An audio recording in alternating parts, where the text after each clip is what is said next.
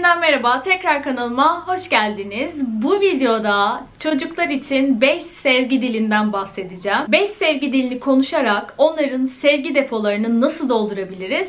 Bunlar hakkında e, güzel maddelerim var. Hemen videoya geçelim. Her çocuk için bu geçerlidir. Çocukların sevgi depolarını eğer doğru bir şekilde doldurabilirsek onları disipline etmemiz, eğitebilmemiz kesinlikle çok daha kolay olacaktır. Peki bu sevgi depolarını nasıl dolduracağız? Tabii ki de koşulsuz sevgiyle dolduracağız. İlk sevgi dilimiz fiziksel temas. Fiziksel temas en kolay sevgi dillerinden bir tanesidir. Çünkü annelerin, babaların e, fiziksel temasla çocuklarına sevgisini gösterebilmesi için e, ekstra bahanelere, ekstra olaylara ihtiyacı yoktur. Çocuklarımız özellikle ilk yıllarında e, birçok fiziksel temasa ihtiyaç duyarlar. Neyse ki e, annelerin içgüdüsel olarak bebeklerine sarılma, onları öpme gibi yaklaşımları vardır. Özellikle bebeklik döneminde alt değiştirme, emzirme bu tarz şeyler bol fiziksel teması içerir ve bebekler bu noktada gerçekten büyük bir doyuma ulaşırlar ve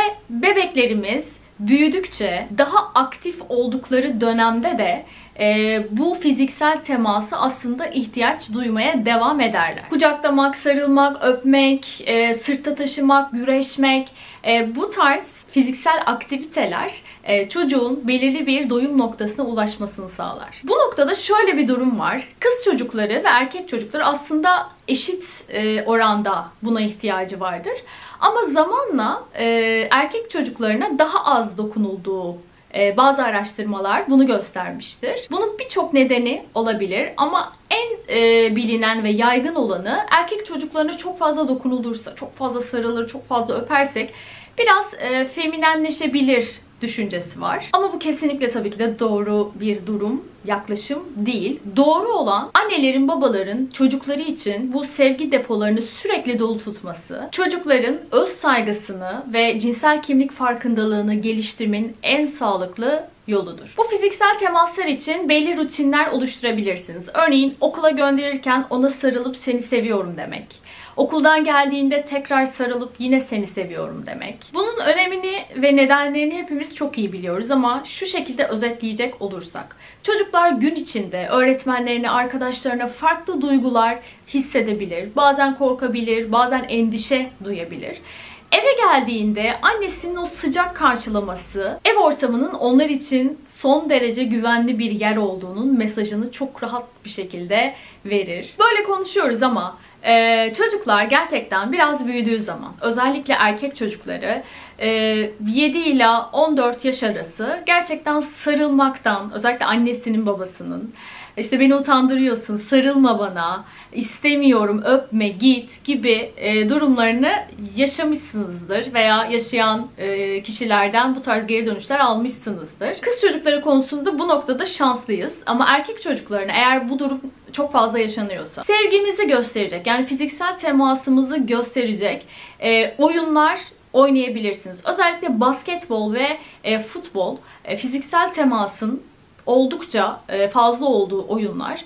Bu tarz oyunları oynayarak yine gün içinde sırtına, omzuna, kafasına dokunarak e, bu duygusal depolarını sürekli dolu tutabiliriz. Gelelim ikinci sevgi diline. O da olumlama sözleri. Bunu hepimiz çok iyi biliyoruz. Sevgi iletişiminde kelimeler çok çok önemli. Sevgi sözcükleri, destekleyici cümleler, övgüler, bu tarz cümleler veya kelimeler e, çocukta seni önemsiyorum mesajını uyandırır. Çocukların içsel dünyalarında gerçekten ciddi bir güven oluşturur. Söylendiği kadar hızlı unutulmaz aslında. Ee, çocuklar hayatları boyunca bu kelimelerin faydalarından yararlanırlar. Çocuklar e, kelimelerin anlamlarını öğrenmeden önce aslında kelimelerin duygularını öğrenirler. Örneğin uyku saatinde bir masal okuyorsunuz veya bir hikaye okuyorsunuz.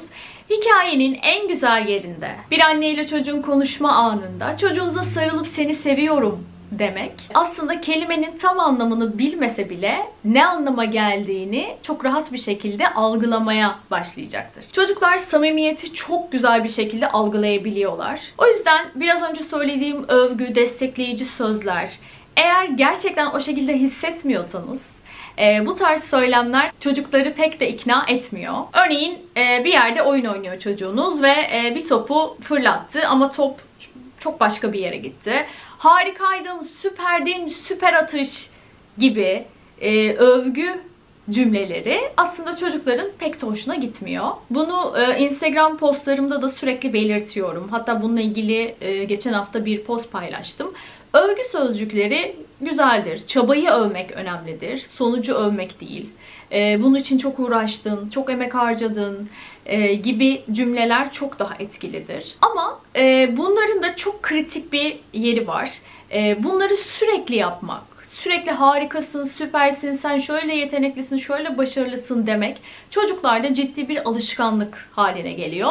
Ve hayatları boyunca sürekli onaylanma ihtiyacı, e, sürekli beğenilme ihtiyacı doğuyor. Bunun oluşmasını e, kimse istemez. O nedenle ayarında dengeli bir şekilde bunları yapabiliyor olmak çok önemli. Şimdi bu sevgi dili, olumlama sözlerinden bahsediyoruz. Ama bunun örneklerini çok fazla görüyoruz. Bir şeyi yaptırmak için olumlama sözleri kullanmak. Yani seni seviyorum ama şunu da şuradan kaldırırsan çok mutlu olurum. Seni seviyorum ama odanı toplarsan daha çok seveceğim. Olumlama sözcüklerini, olumlama sözlerini lütfen bir koşulla çocuğunuza sunmamaya çalışın. Aslında videonun başında da söylediğim şey. Bu sevgi depolarını çocukların doldurabilirsek eğer doğru bir şekilde doldurabilirsek bu tarz koşullamalara gerçekten ihtiyacımız kalmayacak. Evet, üçüncü sevgi dilimiz kaliteli zaman. Evet, bu kaliteli zaman olayı yıllardır söylenen ve e, anneleri, babaları bazen strese sokan, bazen üzen, bazen soru işaretleri bırakan, acaba kaliteli zaman geçirebiliyor muyum çocuğumla diye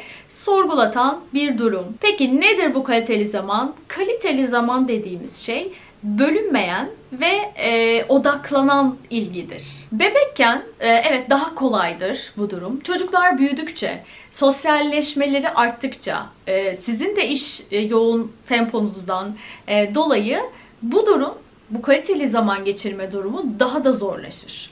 E, ve annelerin, babaların bu konuda ciddi bir fedakarlık yapması gerekir. Şöyle e, üç sevgi diline baktığımızda olumlama sözleri, fiziksel temas ve kaliteli zaman. Aslında fiziksel temas ve olumlama sözleri daha kolaydır.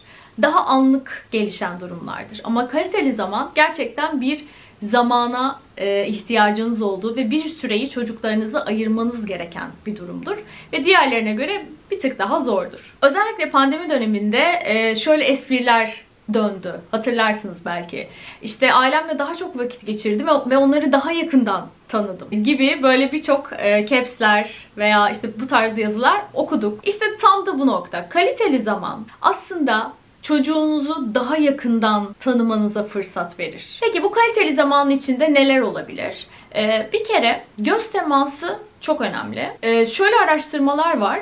Ee, bazı ebeveynler göz temasını sadece negatif bir durum olduğunda veya onu uyarmak için yaptığını belirtmişler. Bazı ebeveynler göz temasını yine çocuk güzel bir şey yaptığında işte odasını topladığı veya kendi banyosunu kendi yaptığı gibi bu tarz durumlarda göz temasını çok sık kullandığını belirtmiş. Bu durumlar kesinlikle ya özellikle son söylediğim şey koşullu sevgiye giren durum. Kaliteli zamanın içinde e, sohbetler yer alıyor.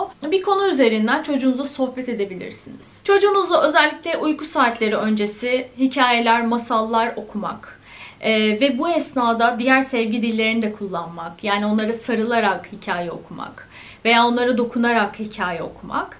E, bu üç sevgi dilini de kapsayan çok güzel bir kaliteli zaman geçirmiş olacaksınız. Yemek saatleri çok güzel zamanlardır. Ailenin bir arada olduğu, herkesin yemeğini yediği, bir yandan sohbet ettiği e, çok güzel anlardır. Lütfen bu anlara e, eğer işte e, baba çalışıyor, geç geliyor, anne çalışıyor, çocuk bakıcısıyla yemek yiyor. Böyle bir durum varsa en azından hafta sonları veya sadece pazar günü bile yapsanız çocuğunuzla geçireceğiniz çok güzel bir kaliteli zaman aktivitesi. Ve tabii ki de çocuğunuzla birlikte arabaya binip bir tiyatroya gitmek, bir sinemaya gitmek, bir maça gitmek e, bu tarz şeyler de çocuğunuzla geçireceğiniz kaliteli zamanlara örnek olarak söyleyebilirim. Dördüncü sevgi dilimiz hediye vermek. Şimdi bu noktada biraz kafa karıştırıcı olabilir. Ama hediye alıp vermek evrensel olarak bir sevgi göstergesidir. Şimdi Yunanca'da hediye demek e, zarafet e, ve hak edilmemiş demekmiş. E, şimdi bu hak edilmemiş ne demek oldum okurken? Yani bunun altında yatan şey şuymuş. Eğer bir şey hak edilmiş olursa bu aslında bir ödeme yöntemidir. Mesela şöyle düşünün. 24 Kasım Öğretmenler Günü'nde tüm veliler bir grup kurar ve öğretmenlerine hediye almak ister. Bu son derece iyi niyetli yapılan ve çok da düşünceli, çok da güzel bir hareket. Bu zamana kadar çocuklarımızla ilgilendiğiniz için ve bundan sonra da ilgileneceğiniz için çok teşekkür ederiz anlamında bir ödemedir aslında. Şimdi bunu çocuklarla nasıl bağdaştırıyoruz? Anne babalar çocukları odasını topladı diye, ödevlerini yaptı diye, okulla ilgili çok güzel geri dönüşler aldı diye e, çocuğuna hediye verirse, hediye alırsa işte bu noktada koşullu sevgiye giriyoruz. Bu gerçek anlamda bir hediye değildir. Bu bir şeyin karşılığında çocuğa verilen bir durumdur. Çocuklara hediye vermek karşılıksız, bunu yaptığın için değil, karşılıksız hediye verdiğiniz zaman gerçekten sevgi depolarını bir tık daha doldurmuş oluyoruz. Bu sadece para karşılığında hediye e, işte mağazadan gidip bir hediye almak değil. Instagram'da da birçok etkinlik yaptırıyorum. Bazı etkinlikler kalıcı oluyor gerçekten. Ee, özellikle böyle kendi elinizle, emeğinizle yaptığınız hediyeler sunmak. Bak sana bugün bunu yaptım. Bak şu etkinliği yaptım. Hadi gel beraber oynayalım. Gibi çocuğunuz için yaptığınız bu tarz küçük, anlamlı ve onu düşündüğünüze dair e, şeyler ciddi bir hediyedir ve çok da güzel bir sevgi karşılığı vardır. Şimdi bu hediye konusunda bazı durumlar var. Ee, özellikle kendi çocukluğunda çok sağlıklı bir ortamda yetişememiş bir anne veya baba çocuğunu gerçekten sevgi anlamında nasıl doyuracağını bilmediği için çocuğuna her gün sürekli oyuncak alır. Ee, bak sana bunu aldım, bak sana şunu aldım ve e, o oyuncağı alan çocuk babasına veya annesine sarılır ve bir şekilde onun sevgi deposunu doldurduğunu düşünür. Ama bu kesinlikle yanlış bir durumdur.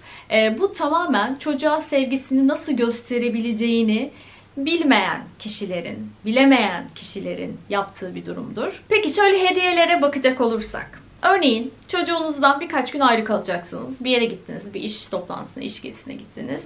Ayrı kaldığınız süre boyunca duvarına yapıştırdığınız güzel notlar veya küçük çiçekler çok güzel bir hediyedir.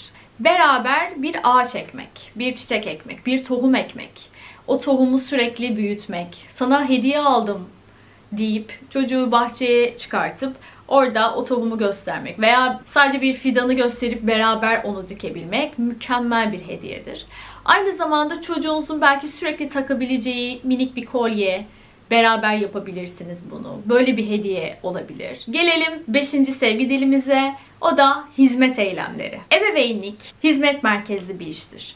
Bir çocuğunuzun ol- olacağını öğrendiğiniz andan itibaren aslında bir hizmete başlarsınız ve bu hizmet ömür boyu devam eder. Hizmet eylemleri hem fiziksel hem duygusal gerçekten çok zahmetlidir ve özellikle bu noktada anneler, babalar kendi duygusal ihtiyaçlarını, kendi fiziksel ihtiyaçlarını da karşılamak zorundadır. Çocuklarımıza hizmet ederken, öğretmenlik için de bu durumu düşünüyorum ben.